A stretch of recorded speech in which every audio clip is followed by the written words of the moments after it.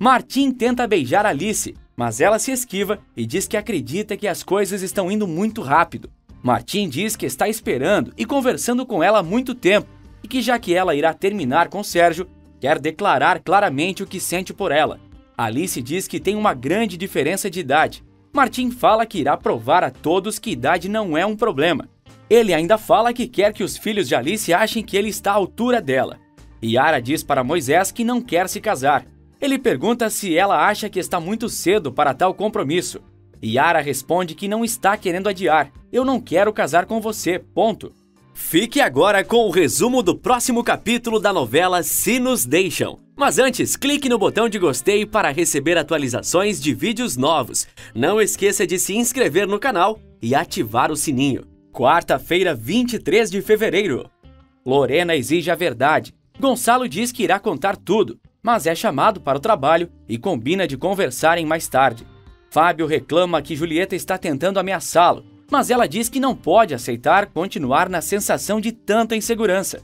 Fábio concorda, mas ela exige que o contrato seja feito quanto antes. Não pode passar de amanhã. Fábio concorda com Julieta e pede para que ela e Sérgio fiquem em harmonia e sem brigar. Julieta diz para Sérgio que para terem um relacionamento, muitas coisas ainda terão que acontecer. Moisés tenta entender o que aconteceu entre ele e Yara, e Yara pede para que ele não faça as coisas ficarem mais difíceis do que já estão. Moisés pergunta se ela não o ama, e ela diz que ainda o ama, então ele diz para esquecerem desse tema. Yara diz que o ama como amigo, mas que o que sente por ele não é nada mais do que costume, que já não quer mais o casamento. Moisés, em lágrimas, tenta entender o que aconteceu, Yara diz que o único problema é ela, que não pode continuar mentindo e que precisa ser a mais honesta possível. Moisés se enfurece e pergunta qual o nome do homem pela qual ela se apaixonou. Antes que possa dizer qualquer coisa, a organizadora do casamento chega.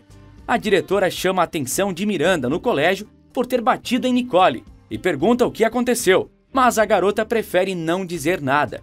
A diretora promete chamar Alice para conversar. Martin segue trabalhando em seu computador e Alice diz que se estiver atrapalhando pode ir embora e se encontram outro dia.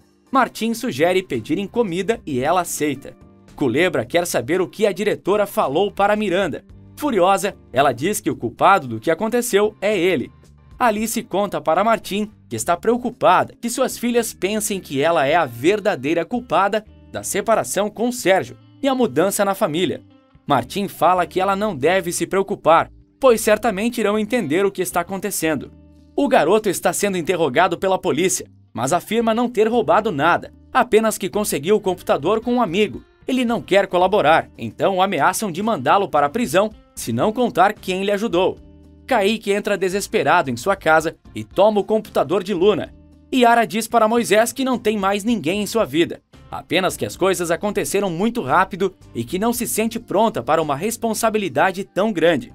Paulo fala com o novo advogado e diz que quer provar sua inocência, que apenas mentiu para não prejudicar a antiga advogada que estava cuidando do caso.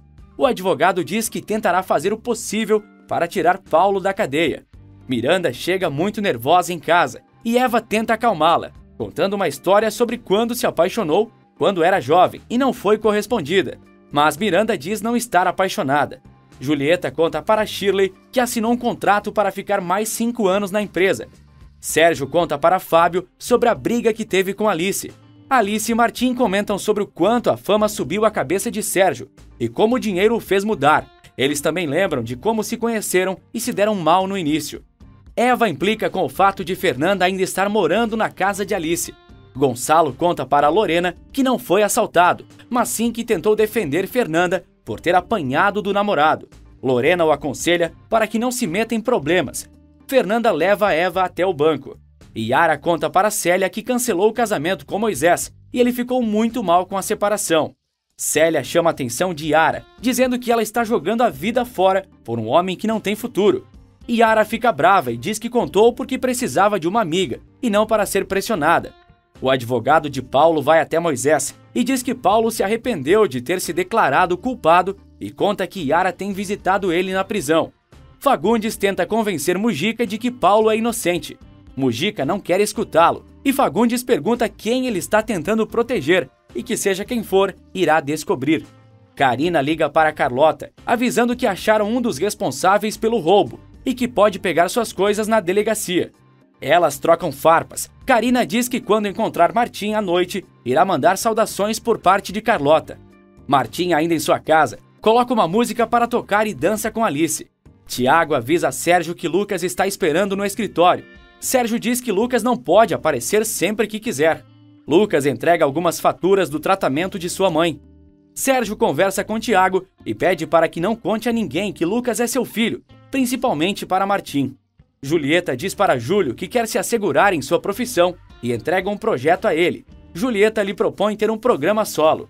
Gonçalo conta para Fernanda que está trabalhando em uma padaria. Ambos se aproximam, mas quase são pegos pela empregada. Eva continua apostando e perdendo dinheiro. Sérgio propõe ir morar com Julieta. E Yaya encontra um bilhete no quarto de Miranda, na qual diz que Yaya não deve se esquecer de alimentar o peixe. Moisés vai encontrar Paulo na prisão. Muito obrigado por ter acompanhado o vídeo até aqui. Até a próxima, pessoal!